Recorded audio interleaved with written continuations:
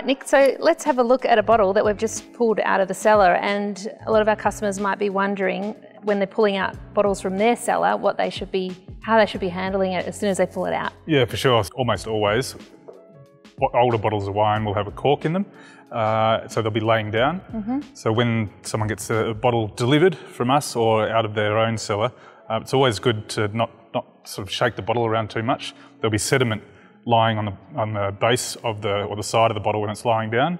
So before opening, it's always best to stand the bottle up on a, on a bench for a while, mm-hmm. and that helps sediment roll down or sink to the base of the bottle. And that'll make it easier to open the wine and decant the wine when it comes to drinking it.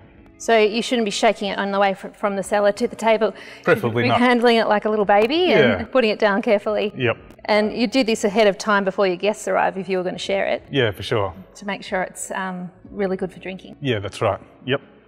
Um, and then the next step, I guess, is the opening. So um, before, if you were going to share it and your guests were coming, how, how early should we be opening? Uh, if I was having it for a dinner on uh, on a Saturday night, I'd, I'd open it that, that morning. So get it out of the cellar that morning and stand it on the bench, and then open it later in the sort of mid afternoon. Yeah, but not right before they arrive. No, that's right. It needs time to breathe in the decanter or just in the bottle. Yeah, and then you can also check if it's if it's okay to share. Yeah. Um, so yeah, opening the bottle. Yeah. So um, this is a two-stage uh, corkscrew.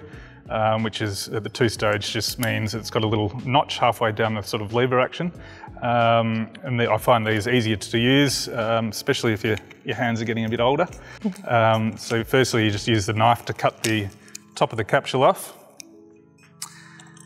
And then I always like to have a bit of a, a look and feel of the cork um, before I Yeah. use the corkscrew because some really old bottles, but they might have a, a crumbly uh, cork in it where something like this little gizmo called a uh, well cork puller or Ah-So um, comes in handy and you can slide that down between the cork and the, the glass of the bottle, the neck of the bottle to help get it out. But I can already feel that this cork is in pretty good Looking condition. Pretty good, yeah.